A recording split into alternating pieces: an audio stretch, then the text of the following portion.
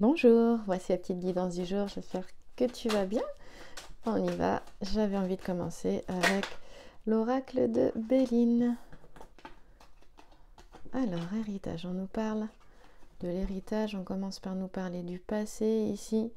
Euh, ça peut aussi euh, nous parler de vie antérieure, ça peut aussi nous parler euh, de, de, lignée familiale, ça peut aussi nous parler de, de, mémoire aussi, hein, passé, de mémoire de vie antérieure aussi également, on va aller voir.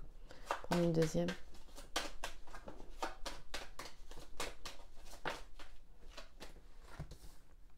Eh bien, c'est à aller découvrir avec ces deux cartes-là. Ouais. Là, il y, a, hum, y a un gros changement intérieur là, qui, est peut-être déjà présent ou qui arrive.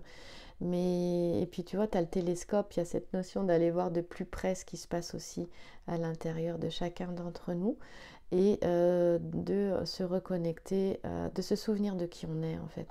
Hein, de se souvenir de cette, étincelle divine que nous sommes et euh, que nous avons beaucoup plus de capacité que nous, que nous le pensons.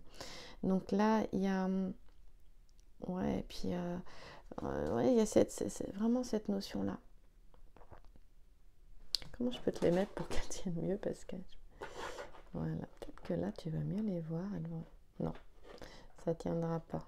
Bon, ça glisse, pas grave, on va laisser ça comme ça. Tu vas bien, tu, tu... j'espère que tu vas bien. Je voulais te dire tu vois bien quand même, mais euh, j'espère que tu vas bien aussi. Petit lapsus. Et aussi pour dire, euh, ce qui me vient là, c'est euh, bah, ça va aller bien aussi également. Pas d'inquiétude, ça va aller bien. Hein.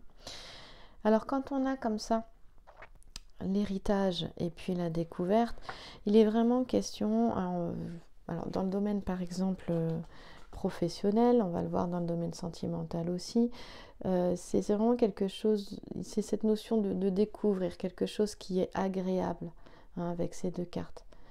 Euh, l'entourage, ouais, l'entourage est, agréable. On, on te fait confiance, je, dis tu, euh, façon de parler, c'est une guide en général, hein. euh, on te fait confiance, euh, tu peux faire confiance aussi, il y a cette notion d'être de renommée, d'être apprécié, de, reconnaissance de ses qualités, de ses compétences, de son savoir-être et de son savoir-faire ici, hein, au niveau professionnel. Et puis, voilà. Et au niveau sentimentale, bah, c'est. C'est vrai qu'il y, a plutôt une, notion de. Euh, de retour en arrière en fait, peut-être d'un bilan au niveau affectif, au niveau sentimental. Un bilan, mais hum, quelque chose de positif qui, permet de, mieux se de mieux se connaître en fait. Hein, c'est ça.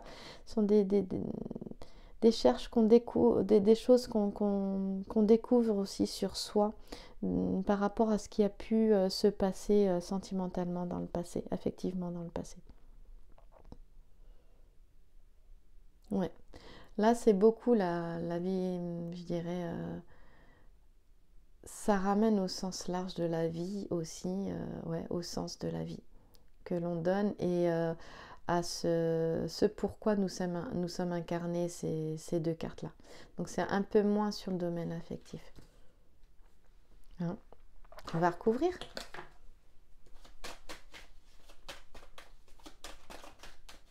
Et euh, du coup, je n'ai pas fait, mais euh, domaine euh, matériel, c'est pareil.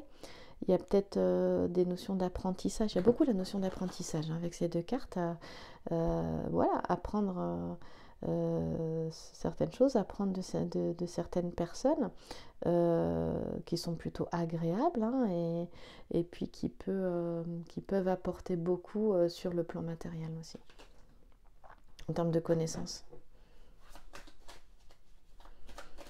je termine avec deux cartes avant de prendre mes deux autres jeux, ou trois autres, je sais pas, bah, deux cartes. Et eh bien voilà, là on parlait pas du sentimental, maintenant vient le sentimental. Euh, l'affectif plutôt, hein, l'affectif, pensée, amitié et passion. Bon bah là très clairement on peut très bien avoir, d'un coup on peut avoir une, une amitié qui se transforme euh, euh, en relation amoureuse hein, complètement, ou, vraiment ben les, les cœurs s'emballent là avec la passion, hein. les cœurs s'emballent, on a Vénus et le Soleil, les cœurs s'emballent. ouais. Alors attention parce que là on voit qu'il y a beaucoup cette notion d'apprentissage Hein, d'apprentissage de l'âme, l'âme qui apprend, et euh, de découvrir de nouvelles compétences, de nouvelles connaissances aussi, hein, également. Euh, donc à ne pas être perturbé dans ce, voilà, sur, euh, son chemin de vie par, une, passion. La passion ne dure jamais, on le sait. Voilà, c'est ça aussi que ça peut vouloir nous dire. Et puis ça peut être aussi, comme euh, ça recouvrait l'héritage, euh, aussi euh, une relation comme ça qu'on retrouve, un ami qu'on retrouve et qui peut, avec une relation qui a peut-être été déjà vécue dans d'autres vies antérieures aussi, hein. c'est tout à fait possible hein, également.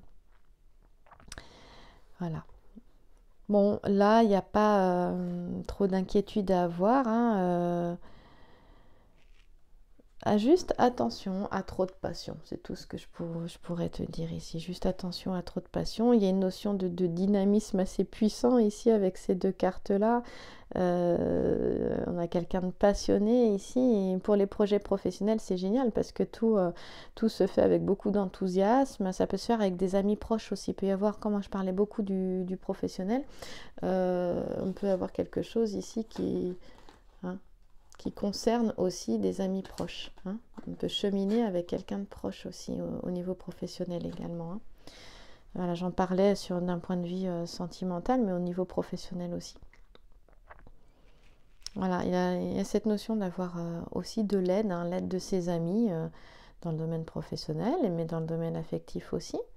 Voilà, il y a dans le domaine affectif, c'est d'être plus modéré. Euh, si, vous, si on souhaite des, des, échanges durables, en fait, bah, je disais attention à la passion et attention à être un petit peu plus modéré dans les échanges pour avoir des, une relation durable. Hein, peut-être que ça parlera à certaines ou à certains. Et euh, attention euh, aux dépenses inappropriées ici. Attention à ces dépenses, je dirais. Il n'y a, rien de plus. Voilà, bon, on va voir. Allez, on continue. J'ai envie de prendre euh, l'oracle de l'intuition, les portes de l'intuition, pour voir quel en est le message. Alors, c'est de profiter pleinement du moment présent. Revenez au moment présent, faites-en un ami, voyez ce qu'il y a de meilleur en vous. Voilà, donc si les choses secouent, reviens ici et maintenant, dans le moment présent eh bien, euh, tout se transforme. Le temps n'existe pas et le passé se transforme et le futur se transforme. La physique quantique en a parlé. Euh, dans différentes traditions aussi, il est dit que euh, passé, présent, futur se vivent simultanément.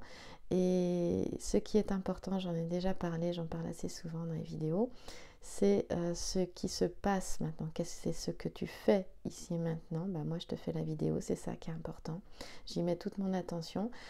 Euh, je te parle à toi, donc ici et maintenant, c'est la personne euh, avec qui tu es en lien, avec qui tu échanges ou que tu es en face de toi qui est importante. Voilà. Et aussi ce à quoi tu penses ici et maintenant. Et des fois, on ne pense pas. Hein. Des fois, la tête est vide mais c'est l'instant présent. Reviens ici et maintenant et savoure-le en fait. Et tu verras que les, la solution apparaîtra. Les problèmes se, se résolvent d'eux-mêmes en fait. Continuons, je vais la mettre à côté. J'étais attirée par les portes de l'intuition. J'avais très envie de le prendre. Et maintenant je sais pourquoi, parce que moi j'adore l'instant présent. L'oracle sacré on terminera avec le grand jeu normand pour aujourd'hui. Ah, il y a quelque chose. Bon, on en a trois. Bon, voilà. Alors, ben, c'est parfait. Elles sont super bien tombées. Alors voilà l'histoire. Donc nous sommes en hiver. En hiver, nous savons que c'est une phase d'introspection, d'isolement. Et cette phase-là, donc elle peut être difficile, on peut complètement s'enfermer aussi. Euh, des fois, c'est souvent, même ça peut être nécessaire. Bon, après, il faut savoir en sortir, bien évidemment. Et euh, l'hiver aussi, c'est très doux, c'est très cocon. Hein, quand il neige, tu n'entends rien. Euh, je ne sais pas si tu as déjà pu euh, sentir cette énergie euh, qu'il y a après, une fois que la neige est tombée, à quel point il y a un silence euh, et tout est cotonneux. Eh bien, c'est voilà, c'est être dans un cocon, revenir dans son cocon parce que ce cocon se permettra la fécondité après. Hein, et cette notion, voilà, de quelque chose de fécond après. Alors effectivement, ça peut aussi, pour les personnes qui veulent concevoir un enfant, euh, bah, ça peut leur parler aussi euh, également. Et là, c'est la cornaline, comme pierre pour les personnes qui, connaissent. Donc on a une période qui est féconde hein, et qui t'invite justement à revenir dans l'instant présent. Voilà. L'hiver est fécond, c'est ça que ça te dit aussi. Même s'il paraît euh, pas toujours simple, il est fécond. Allez, le grand jeu de Mademoiselle Lenormand, je vais terminer avec un Lenormand. Je me suis un peu décalée, je sais pas comment j'ai mis mes, mes petites affaires.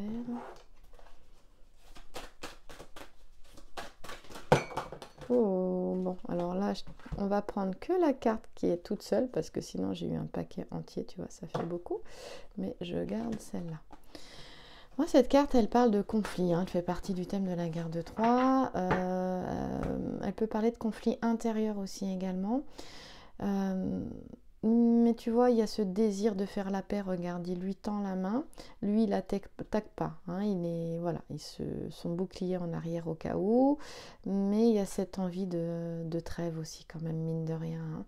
Voilà, donc il est peut-être temps de, lâcher prise dans le moment présent.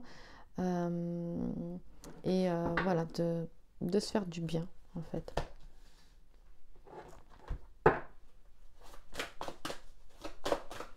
de profiter de l'hiver et de savoir qu'après, euh, tout fleurit au printemps, c'est ça. Hein?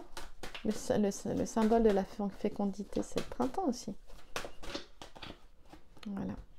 Des personnes qui sont peut-être pas très bien là, il faudrait euh, s'affirmer, se positionner. Il y a une transformation avec retard parce que euh, il y a quelqu'un qui se cache et qui peut être dans la manipulation, dans le mensonge, voire la perversité aussi, mais ça, ça rend malade. Donc euh, c'est peut-être pour ça que quelque part, revenir dans son cocon intérieur là euh, n'est pas négligeable et de ne pas laisser entrer euh, dans ton espace de vie, dans ton espace personnel tout court, des personnes qui n'auraient pas à y être. Hein. donc attention aussi, je là, à trop, on avait cette notion de passion là. Limiter ses ardeurs, attention aussi sur qui tu pourrais tomber. Hein, ça pourrait être une personne euh, qui t'emmène dans cette passion, mais qui soit plutôt toxique. Donc attention. Là, ça peut rendre malade. Il a question de, aussi d'affirmation, de positionnement. Euh, là, s'il y a un conflit quelque part, il va falloir se positionner et pas se laisser faire. Hein. C'est ce que ça veut me dire. les deux cartes veulent me dire là. Coda Draconis, ce sont les soucis. C'est souvent le mois de novembre. Bon, allez, ça, ça doit passer. C'est derrière. Hein. On a vu qu'il y a quelque chose de fécond après par la suite. Par contre, affirme-toi, positionne-toi, ne te laisse pas faire. Ne laisse pas une situation, une personne toxique euh, euh, mettre du retard dans, ton évolution, dans ton avancée. Et on termine, ah bah super, beaucoup mieux, bah oui, parce qu'il y a cette notion euh, d'unicité, d'union en soi, le principe masculin, le principe féminin, ça revient beaucoup en ce moment. Euh, cet équilibre en soi, il y a quelque chose qui peut se faire dans une union aussi. Euh, si une personne peut être démasquée, on a quelqu'un là euh, qui essaie de faire en sorte qu'une union ne se fasse pas aussi, hein, c'est tout à fait possible, ou qu'un projet professionnel ne se fasse pas. dans un projet professionnel, il sera question de, s'entourer, de, s'associer peut-être avec quelqu'un, ça peut être vraiment utile. Voilà, et je vais terminer avec la dernière carte, j'espère que j'aurai le temps. Vite fait. Oui, non, ça revient au fait que de toute façon, quelque chose avec acquisition se construit lentement mais sûrement. Euh, éloigne-toi des personnes toxiques euh, et qui mentent et qui rusent. Fais attention à toi. Bonne journée, ça va le faire.